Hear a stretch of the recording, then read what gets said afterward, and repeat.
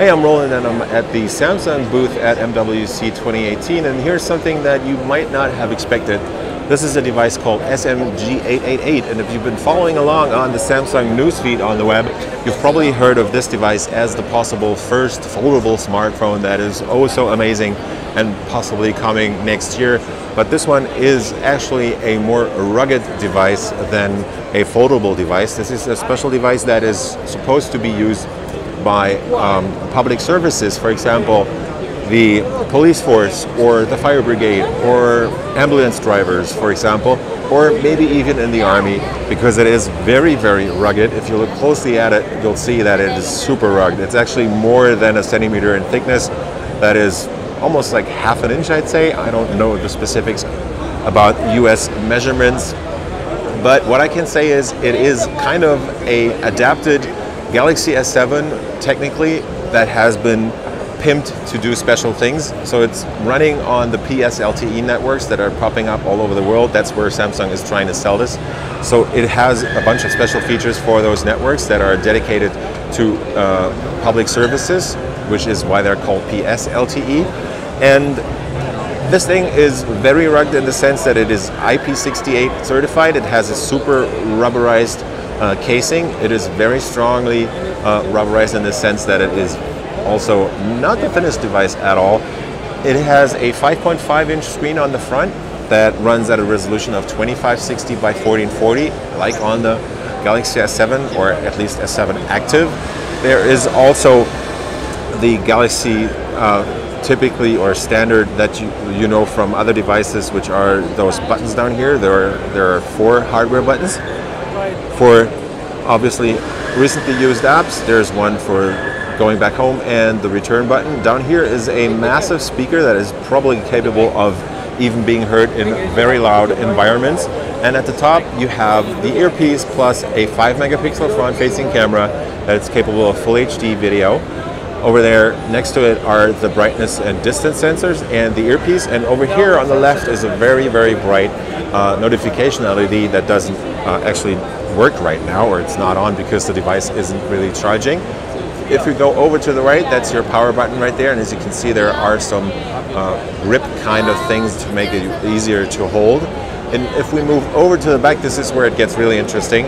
This is a triple LED flash that is supposed to obviously um, deliver as much light as they can, even in very dark situations. Plus, there is a 12 megapixel sensor back here, like on the Galaxy S7. It has a f point f1.7 aperture, just like on the Galaxy S7, and this back cover also pops off. So let me just try and get it off without setting off the alarm here at the booth. So you just basically work your way around. It's pretty much like on the Galaxy S7 Active. And then you pop this off. Uh, it's kind of stuck up there. And there you go. So you have the SIM card tray plus your SD card tray. And if you look at the battery, you'll see it's a 20 4,500 milliamp hour battery. So that's a pretty massive battery that will hopefully last quite a long time during the day, uh, during the workday of these uh, public service officers that will be using this device. Once you pop the cover back on, it should be fully IP68 certified. You can lock the device down here so this cover doesn't pop off and if we move over to the top you'll actually see that there is your headset jack right there there is an emergency button which connects you directly to the central office of whatever entity is working with these devices. So if an officer is out in the street and there up comes a uh, dangerous situation, he just hits that button and he gets directly connected to the main office. Next to that, over here, beside uh, to the side of the headset jack is the noise cancelling microphone.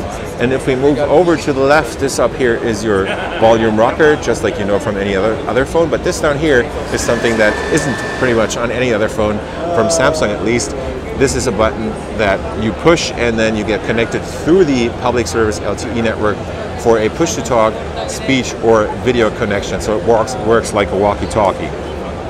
Down here behind this connector, which I can't take off because of the security devices that are uh, placed onto the devices here at MWC, is a micro USB port. That's what my guess is because USB Type-C would be kind of way, way up to date for public service offices to use.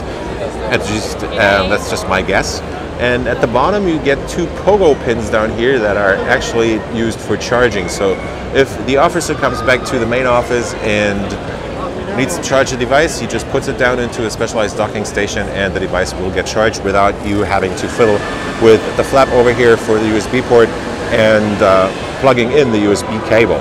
Next to that is the uh, the speech mic, and that is pretty much it. And if we go into the software, uh, you'll first notice that the device has the active display, just like the Galaxy S7 used to have.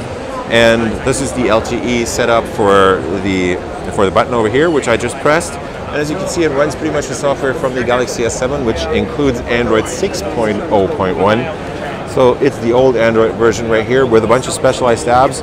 And uh, let's just have a quick look at the at the settings here.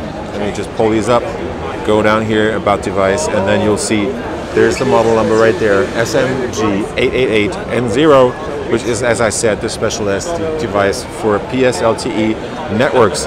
There's also also this app out here, which is the package inspector, which will tell us a bunch of things about the device or its insides. There you can see it's got the Exynos 8890, which is the octa-core SoC from the Galaxy S7 uh, series running at two, up to 3.2.3 uh, gigahertz and there's a screen resolution of 2560 by 4040 pixels. I also know that this device is running with 4 gigs of, of RAM and there's 32 gigs of onboard flash storage, which can be extended through microSD as you just saw on the back. So that's just been a very quick look at the Samsung PS LTE device which is kind of a super ruggedized version of the Galaxy S7 Active here at MWC 2018.